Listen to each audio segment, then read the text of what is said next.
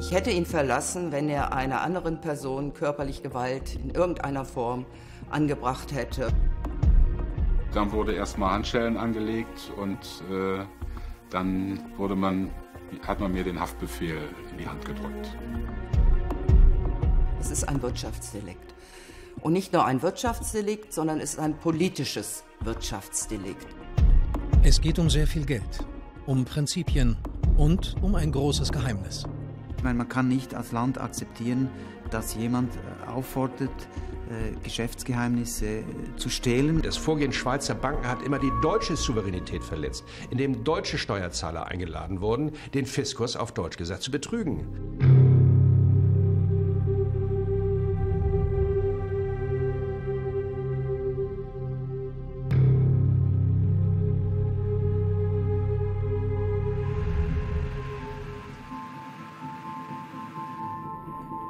Für das deutsche Ehepaar Lutz Otte und Anita Thomas waren die letzten drei Jahre ein Albtraum. Der IT-Spezialist hat viel riskiert und viel verloren. Eine verrückte Geschichte, die beide zum ersten Mal öffentlich erzählen.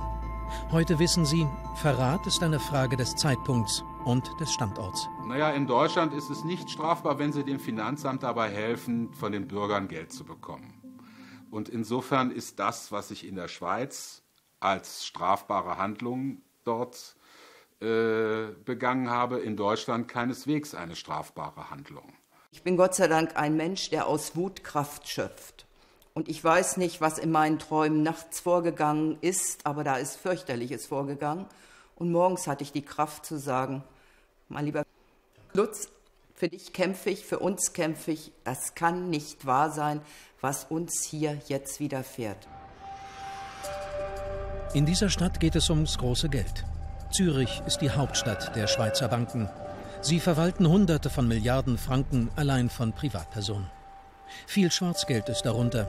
Hier war Lutz Otte als IT-Spezialist tätig. Ein kleines Rad in einem großen Getriebe. Zuletzt beim Bankhaus Julius Bär.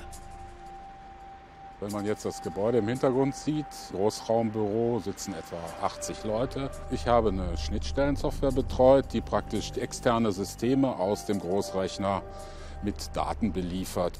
Da wird gebucht, da kommt Geld rein, geht Geld raus. Die Wiesengeschäfte, Wertpapiergeschäfte werden dort verbucht und die Informationen aus diesen Daten werden dann zusammengestellt. Die waren in diesem Fall überhaupt nicht gesichert.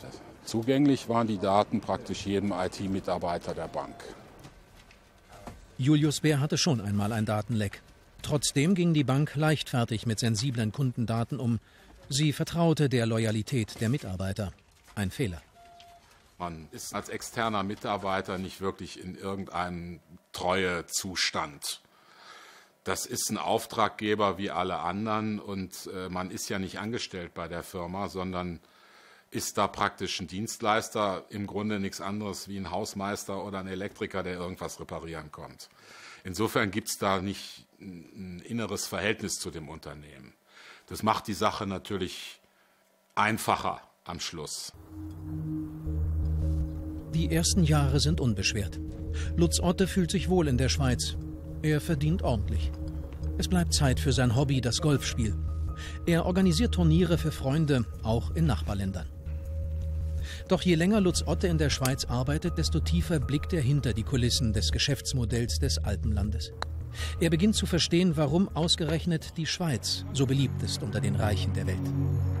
In der Schweiz ist Hilfe bei der Steuervermeidung über Jahrzehnte eine besondere Serviceleistung der Banken. Wer mit Koffern voller Schwarzgeld in eine Schweizer Bank ging, konnte sicher sein, dass ausländischen Steuerbehörden der Zugriff auf das Vermögen verwehrt blieb. Das streng gehütete Bankgeheimnis schützte Geld auch aus illegalen Quellen. Im Gegenzug für den Schutz zahlten die Banken nur mickrige Zinsen und nahmen hohe Gebühren. Ein hochprofitables Geschäft. Das ist das Geschäftsmodell der Schweizer Banken, diesen Steuerbetrug zu unterstützen. Und nicht nur den deutschen Steuerbetrug, sondern grundsätzlich äh, in allen EU-Ländern, den USA oder wo auch immer jemand illegales Geld in irgendeiner Form unterzubringen hat. Die Schweiz, ein gigantischer Tresor und Standort von unzähligen Geldwaschmaschinen. Geschäfte werden hier diskret abgewickelt.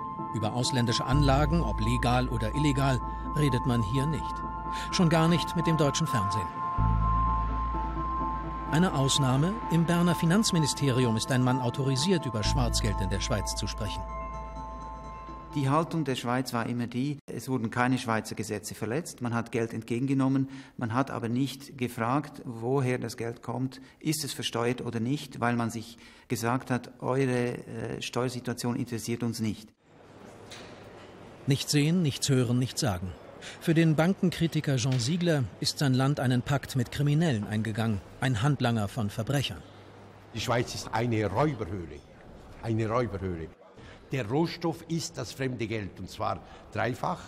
Das Steuerbetrugsgeld aus den umliegenden Demokratien, insbesondere aus Deutschland, die Plünderung des deutschen Fiskus, das ist eine ganz große Einnahmequelle.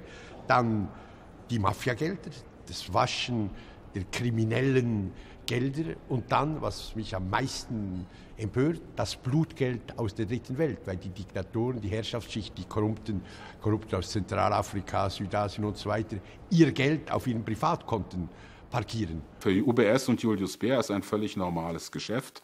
Ich würde sogar sagen, für Julius Bär ist es existenziell. Lutz Otte sieht und hört eine Menge und beginnt irgendwann zu sprechen. Zunächst harmlos auf dem Golfplatz. Dort lernt der IT-Spezialist einen Mann aus Berlin kennen, der sich mit Steuerbetrug gut auskennt. Ich habe vor einigen Jahren auf dem Golfplatz einen Steuerfahnder kennengelernt und äh, daraus hat sich letztlich diese Geschichte entwickelt. Der Steuerfahnder ist im Ruhestand und möchte diesen anonym genießen. Der Fahnder AD ahnt schnell, Lutz Otte kann sehr wertvoll werden für ihn. Es ging natürlich darum, an Kundendaten heranzukommen, die für die deutsche Steuerfahndung interessant sind. Logischerweise äh, hat er wohl gedacht, ich käme an solche Informationen heran. Und konkret wurde die Sache dann eigentlich in dem Moment, als äh, ich bei Julius Bär tätig war und äh, dort eben völlig überraschend eigentlich Zugang zu Kundendaten hatte. Geht schon. Daraus hat sich im Gespräch dann halt entwickelt, dass das äh, möglicherweise für beide Seiten interessant sein könnte. Einerseits die Daten zu bekommen für den Fiskus und natürlich auch für mich ein lukratives Ergebnis daraus zu machen. Ich wollte eigentlich das Ganze möglichst anonym abwickeln. Also aus meiner Sicht anonym abwickeln. Und dazu brauchte ich einen Vermittler. Wir treffen den pensionierten Steuerfahnder in einem Hotel in Berlin. Nur nach der Zusicherung, ihn unkenntlich zu machen, ist er bereit, über den Fall Otte zu sprechen.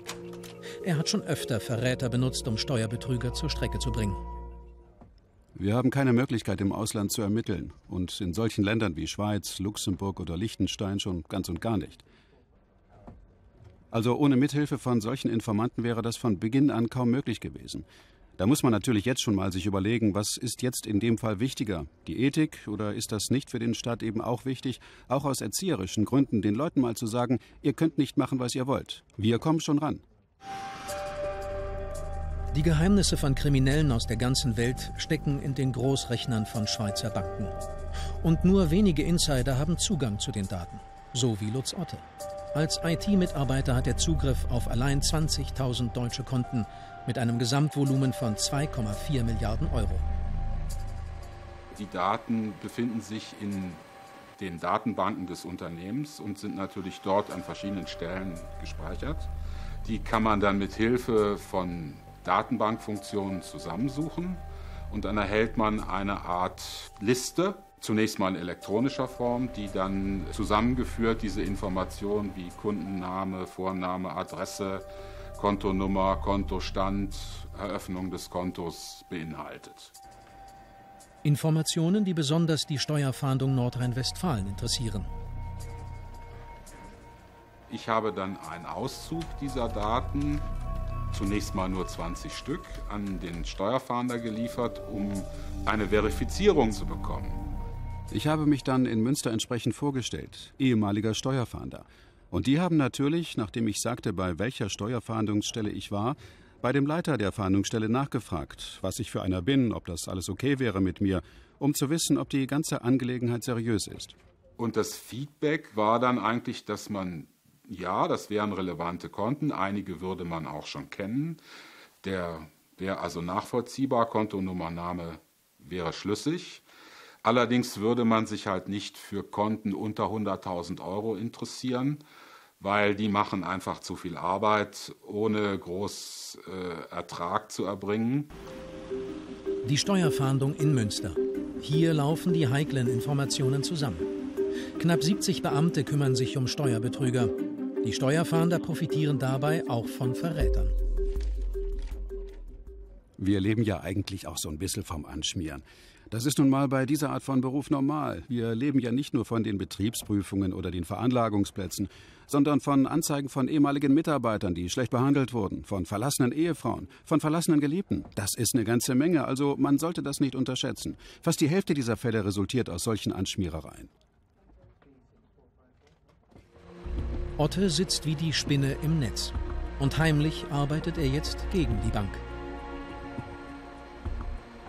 Also den zusammengestellten Datentopf, den ich dann hatte, den habe ich in kleine Dateien zerlegt und habe die als Bilddateien definiert und habe dann im Prinzip, so wie man ein Foto mit einer E-Mail verschickt, diese Datentöpfe einzeln an meine E-Mail-Adresse geschickt. Das ist niemandem aufgefallen, weil das äh, System von Julius Beer eigentlich nur E-Mails ab einem bestimmten Volumen überprüft hat und äh, auch diese Daten, die im, im E-Mail-Verkehr dort verschickt werden, nicht großartig überprüft, wenn dort nicht explizite Auffälligkeiten sind. Informanten wie Lutz Otte. Der Finanzminister von Nordrhein-Westfalen kauft gerne die von Ihnen angebotenen Kundendaten. Doch die Sache ist heikel. Darf ein Rechtsstaat die Dienste von Dieben wie Lutz Otte nutzen? Minister werden dadurch zu Hehlern. Die Menschen haben sich entschlossen, äh, aus den unterschiedlichsten Motiven, äh, einen wirklich geschlossenen Ring äh, von Straftaten zu Lasten der deutschen Volkswirtschaft, des deutschen Steuerzahlers zu knacken. Das empfinde ich natürlich überhaupt nicht als, als eine Straftat, sondern es geht hier wirklich um eine Notwehr. Notwehr. Jedenfalls haben einige Politiker ihre Zweifel beiseite geschoben. 2006 kauft Bundesfinanzminister Peer Steinbrück als erster eine Steuer-CD mit Kundendaten aus der Schweiz. Ich bin damals bei dem ersten Fall sehr schnell dafür gewesen, nach Beratung in meinem Ministerium und war auch aktiv beteiligt, indem ich einen Teil äh, über das, die, die Bundeskasse äh, dafür gezahlt habe. Äh, in Deutschland wurde dann von einigen der Vorwurf erhoben, damit hätte ich Hehlerei betrieben oder Hehlerei unterstützt. Ähm, dieses nicht ganz von der Hand zu weisenden Vorwurf, den habe ich für geringerwertig gehalten als äh, die Tatsache äh, des Steuerbetruges mhm.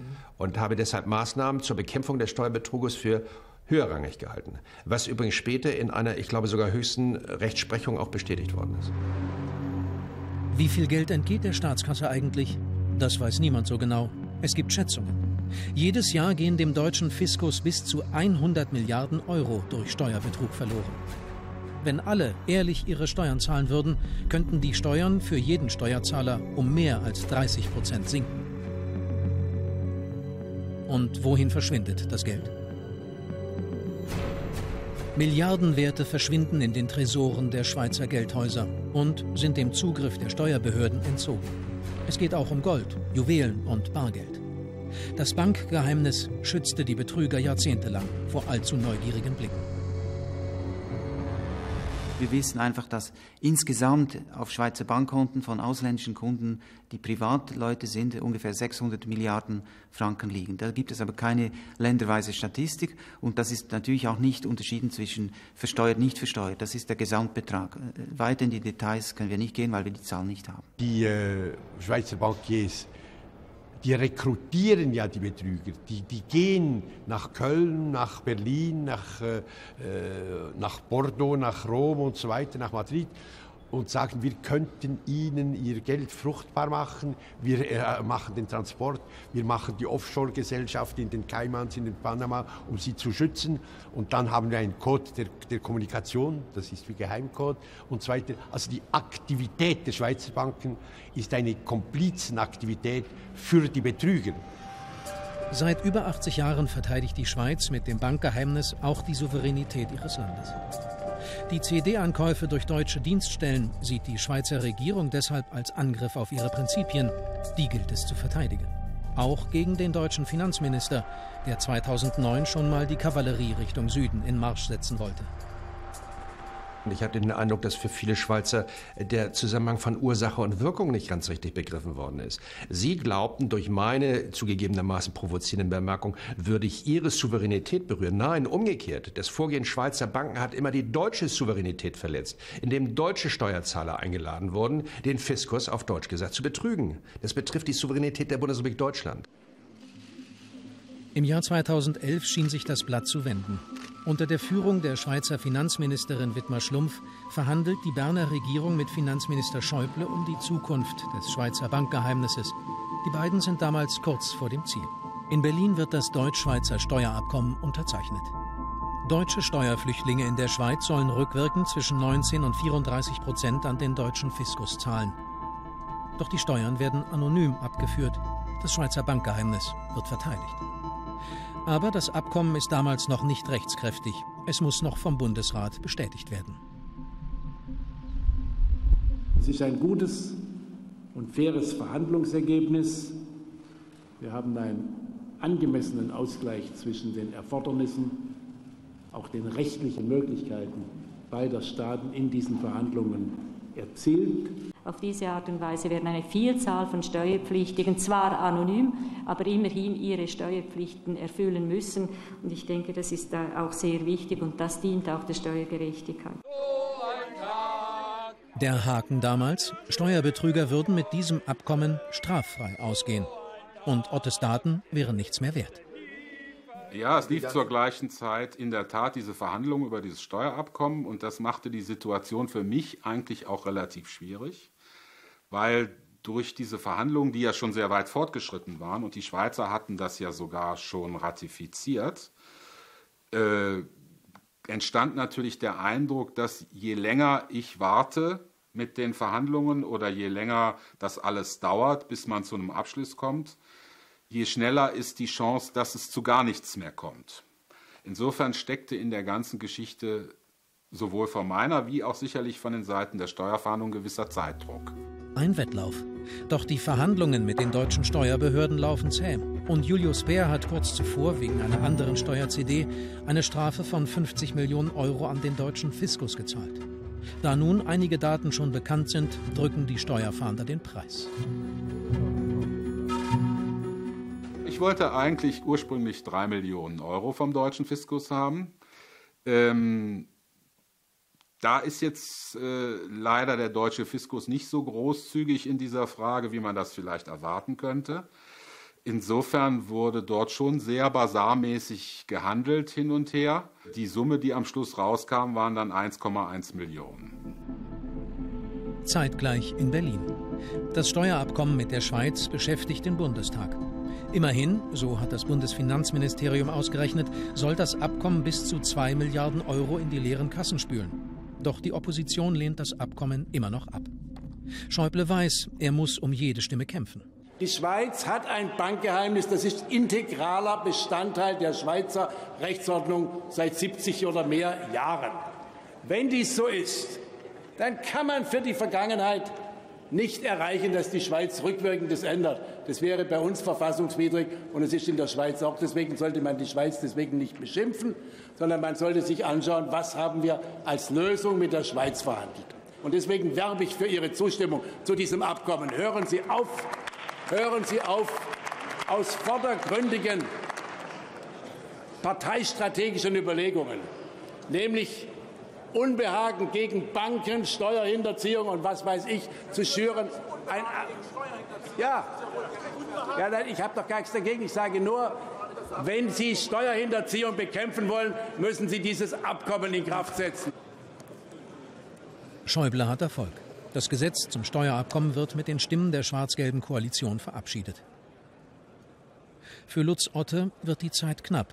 Da taucht ein neues Problem auf für mich war natürlich auch klar, dass ich das Geld in Bar haben wollte, was für den deutschen Fiskus einen hohen Schwierigkeitsgrad darstellte.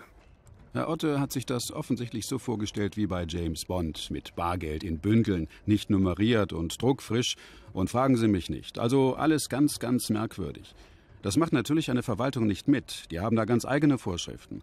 Dazu gehört natürlich das Ministerium, das in jedem Fall auch vorher prüft und abhakt. Und die Landeshauptkasse, die dann das auszahlt. Und zwar auch nicht in Bar, sondern dieses Geld dann auf irgendein Konto von irgendjemandem bezahlt da es eben das Problem gab, dass ich das Geld in Bar haben wollte, äh, wurde das Ganze über das Konto des Steuerfahnders gehandelt. Das heißt, die haben das Geld auf sein Konto überwiesen.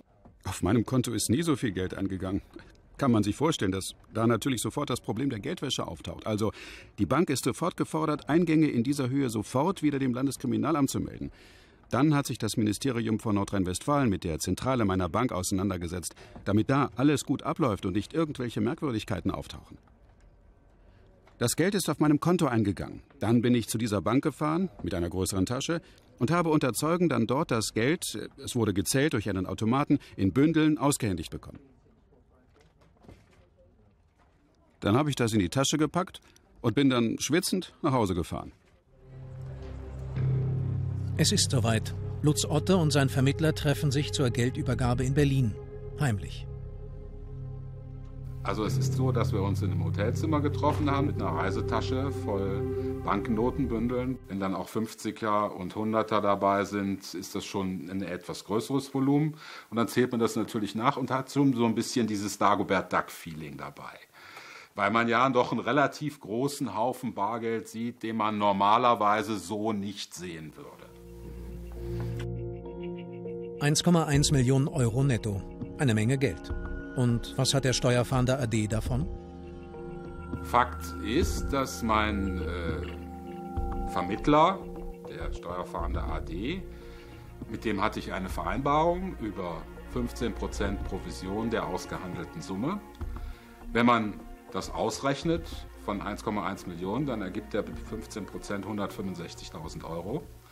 Und die hat der Steuerfahnder AD auch gleich bei der Auszahlung einbehalten. Ich habe mir 10.000 Euro genommen für eben meinen Aufwand, den ich hatte.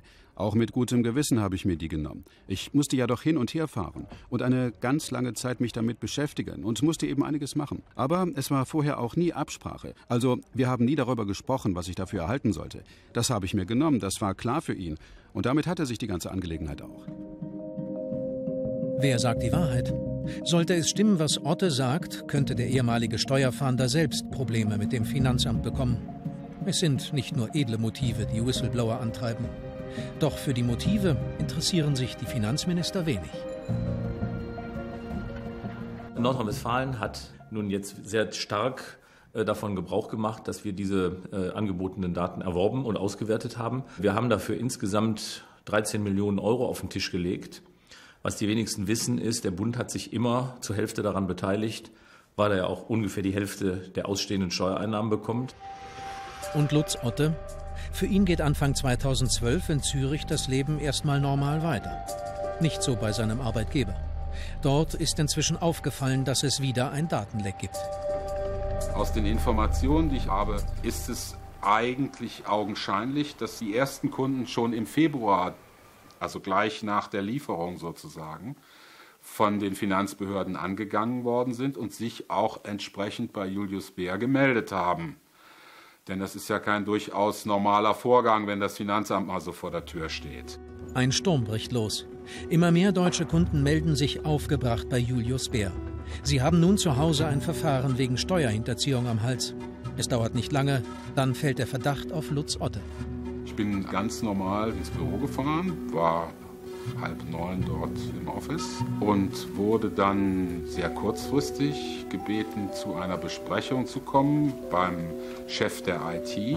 Ich wurde gebeten, Platz zu nehmen und als ich dann saß, gingen schon die Türen von allen Seiten auf und es liefen fünf Polizisten und ein Staatsanwalt rein und äh, dann wurde erstmal Handschellen angelegt und dann hat man mir den Haftbefehl in die Hand gedrückt.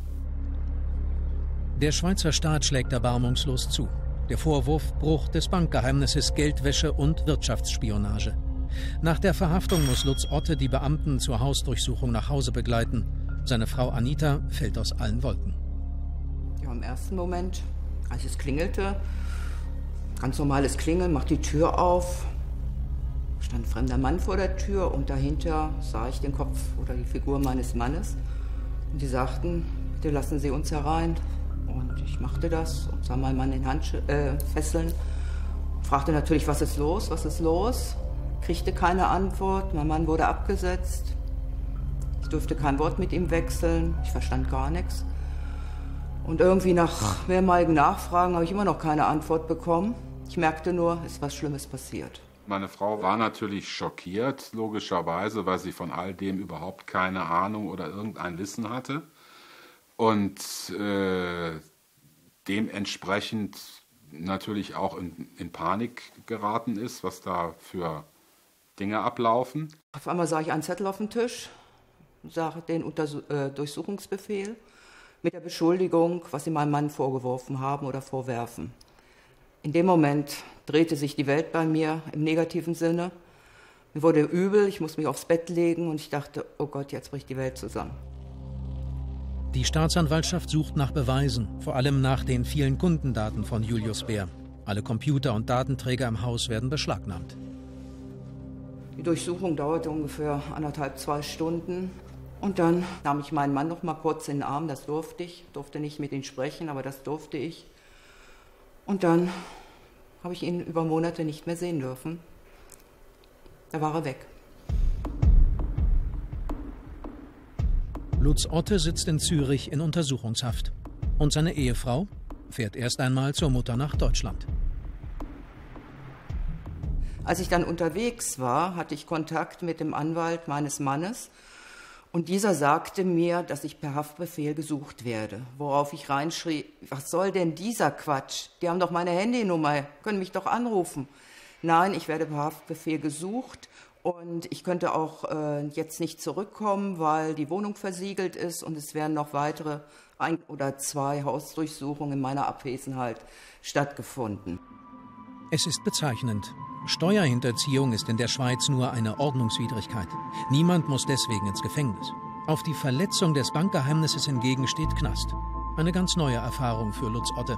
Die für mich schockierendste Phase war eigentlich die erste Woche im Polizeigefängnis Zürich.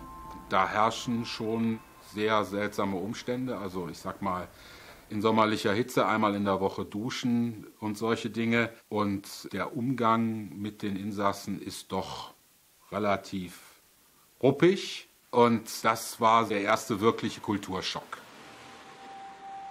Mehr noch, der Vorwurf der Spionage macht den Fall Otte zu einem hochpolitischen Fall. Jetzt wird es auch für Ottes Ehefrau Anita ungemütlich.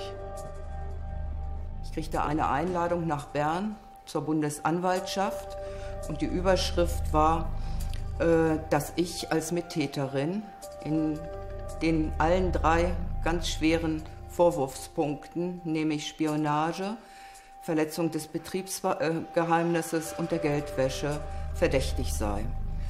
Das war ein gewisser Freitag, als ich den Brief öffnete, und am kommenden Dienstag sollte die Vernehmung sein. In dem Moment wusste ich überhaupt nicht, was ich machen sollte, denn eins stand fest, das ist der Tag, wo ich in die Mühlen der ganzen Justiz gerate. Ich kann das nur sippenhaft nennen, ein anderes Wort gibt es dafür nicht. Und äh, es ist schon wirklich erstaunlich, dass sowas heute noch möglich ist. Sie haben mich durch die Mühlen getreten. Sie haben mich äh, psychisch dermaßen unter Druck gesetzt. Denn es war ja nicht nur, dass sie mich vernommen haben, sondern in ein, zwei, drei Wochen, ich weiß den Zeitraum nicht, müsste in die Akten schauen, wurde auf einmal ganz klar definiert, dass sämtliches Geld oder Konten geschlossen werden, auch die meinigen Konten. Beim Schutz des Bankgeheimnisses geht es für die Schweizer Strafverfolger ans Eingemachte. Da können auch schon mal Unschuldige unter die Räder geraten. Etwa zur selben Zeit in Berlin im Bundesrat. Die Entscheidung zum Steuerabkommen mit der Schweiz steht an. Ohne eine Zustimmung des Bundesrates kann das Abkommen nicht in Kraft treten. Das Problem für den Bundesfinanzminister, seine schwarz-gelbe Bundesregierung hat im Bundesrat keine Mehrheit. Und tatsächlich, die Opposition lässt das Abkommen mit der Schweiz platzen. Eine persönliche Niederlage für Schäuble. Das, was ich heute im Bundesrat äh, gesehen habe, ist meines Erachtens in der Verantwortungswahrnehmung noch äh, steigerungsfähig. Das Ziel der Gegner des Abkommens, Sie wollen Steuerbetrüger nicht ungeschoren davonkommen lassen. Es geht um Abschreckung und um viel Geld. Nach diesem Abkommen hätte vieles so weitergehen können wie vorher. Es wäre die Ruhe wieder eingekehrt, die durch CD-Käufe eben in Unordnung gebracht worden ist. Äh, und was danach durch das Scheitern dieses Abkommens, durch das Auswerten von CDs an Milliarden an Nachzahlungen gekommen ist, das hätte das Abkommen nie geschafft. Ein deutliches Signal an Steuersünder, die Schweiz ist nicht mehr sicher. Auch Prominente wie Uli Hoeneß und Alice Schwarzer versuchen durch eine Selbstanzeige der Strafverfolgung zu entgehen. Ja, da haben sie sich etwas äh, verkalkuliert. Ja, die haben damit gerechnet, dass es zum Abschluss kommt und dass darüber eben Klappe zu, äh, alles ist vergessen und vergeben, Amnestie, wir müssen ein bisschen was nachzahlen, weil wir damals sonst äh, ja, im Sinne des Strafgesetzbuches falsch verhalten haben. Aber damit ist die Sache auch erledigt. Und in dem Augenblick, wo klar war, das Ding scheitert am Einspruch der SPD im Bundesrat, ähm, war plötzlich Alarm im Hafen. Ich habe einen großen Fehler gemacht. Ich habe Kapitalerträge im Ausland nicht deklariert. Das Münchner Landgericht verurteilt Uli Hoeneß wegen Steuerhinterziehung in Millionenhöhe zu drei Jahren und sechs Monaten Gefängnis.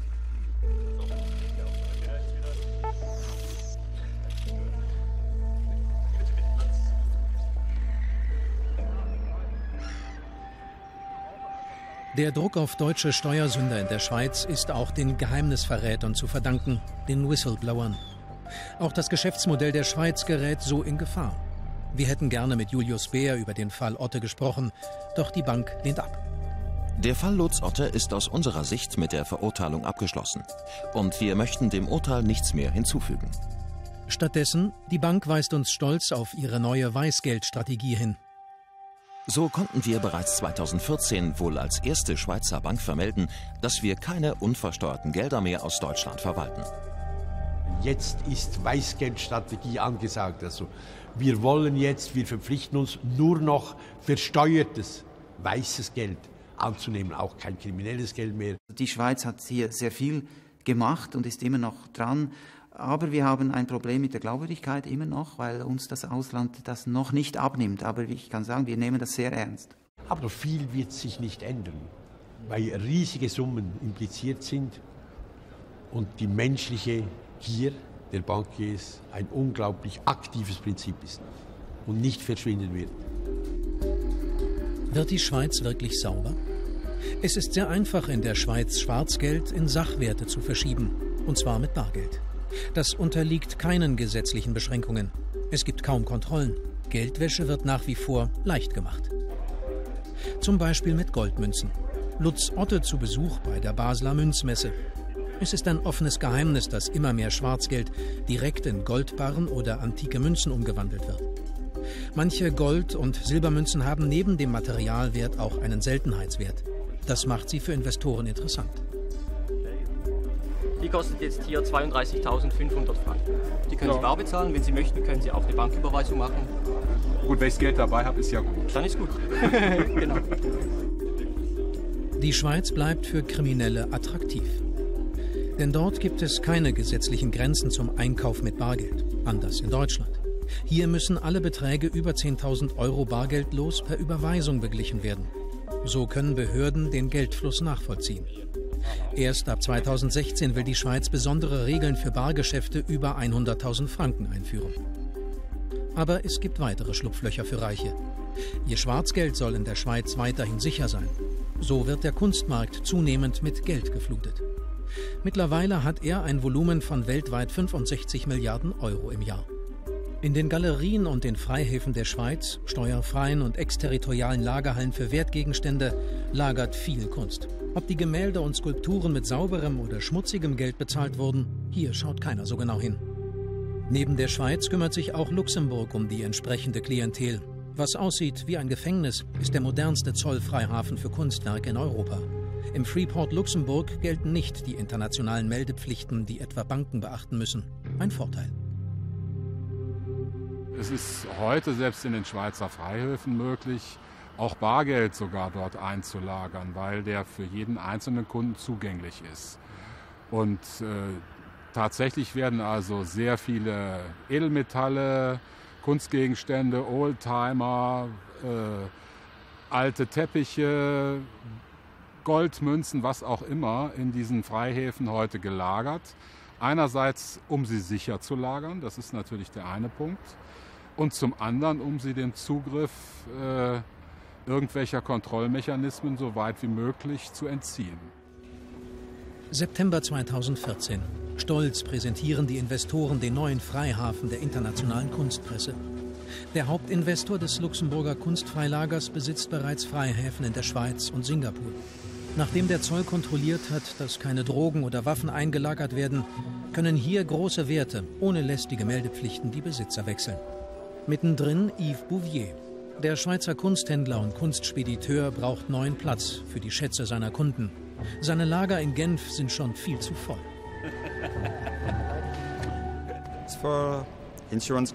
Die Versicherungen der Kunstwerke möchten das Risiko verteilen.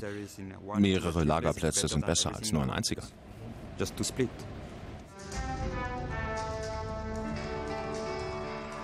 Zur Eröffnung kommt der Geldadel des Großherzogtums, der Luxemburger Finanz- und der Wirtschaftsminister und viele Investmentbanker. Für Yves Bouvier ein großer Erfolg. Wenige Monate später zieht sich der Kunsthändler aus der Geschäftsführung des Freihafens wieder zurück. Ein Gerichtsverfahren läuft gegen ihn. Er soll einen Kunden um Millionen betrogen haben. Doch das Modell Freihafen wird auch ohne ihn funktionieren.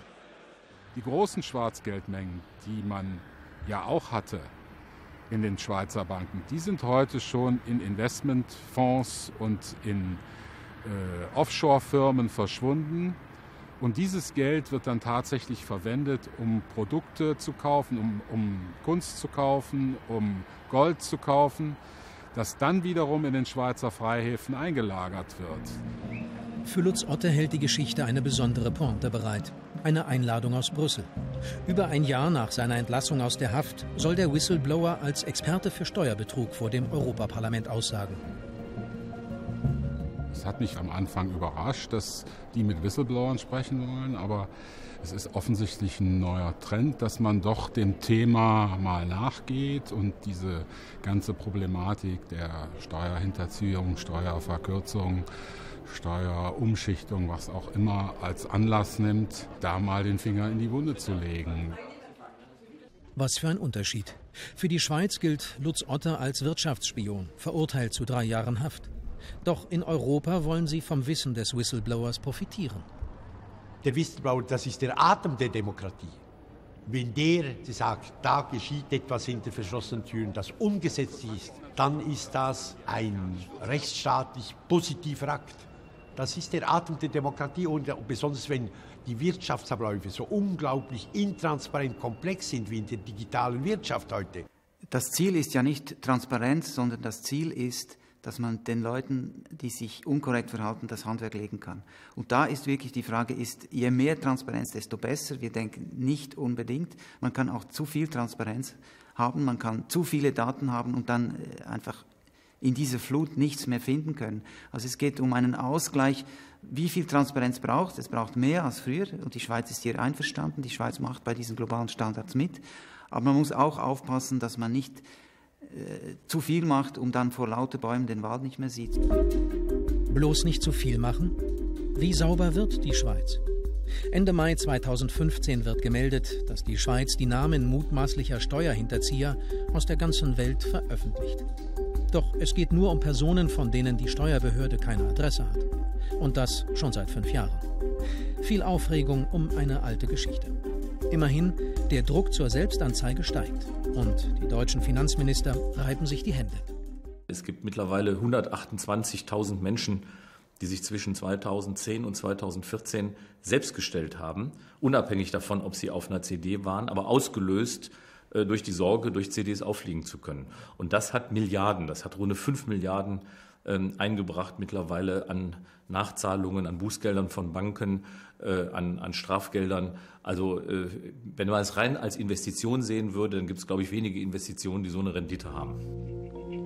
5 Milliarden. Für den deutschen Fiskus ein gutes Geschäft.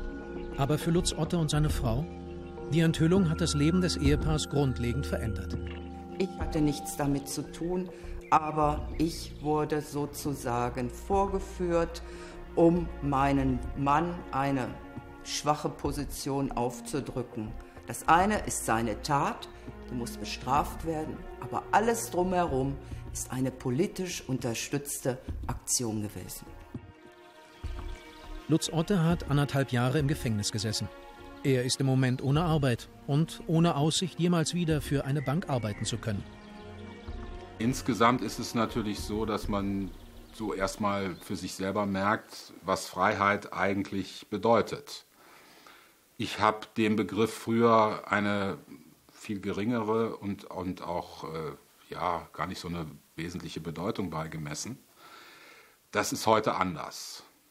Äh, heute sehe ich den Begriff Freiheit schon als viel, viel elementarer als viele andere Dinge, die ich früher für wichtiger gehalten habe. Und die Schweiz? Sie hat angekündigt, ab 2018 automatisch Steuerdaten mit der EU auszutauschen. De facto das Ende des Schweizer Bankgeheimnisses. Lutz Otte hat zu dieser Entwicklung seinen eigenen Beitrag geleistet.